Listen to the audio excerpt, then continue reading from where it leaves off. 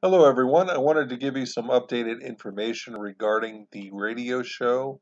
I had did the radio interview for the book Who is Your Provider uh, about a couple of weeks ago, and I was sent an email uh, yesterday informing me that tonight, uh, May 3rd, uh, they're going to be airing it.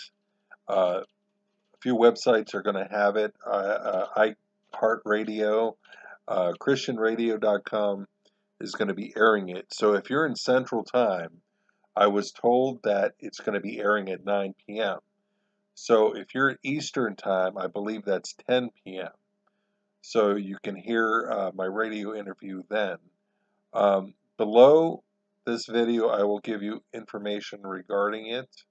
Um, if in case that you miss it, uh, you, you will have the information there so that you can uh, listen to it for yourself on the website. Uh, once again, uh, my radio interview for Who is Your Provider will be airing tonight. Uh, if you're Eastern Time, it's going to be 10 p.m. If you're uh, Central Time, it's going to be 9 p.m. So uh, stay tuned.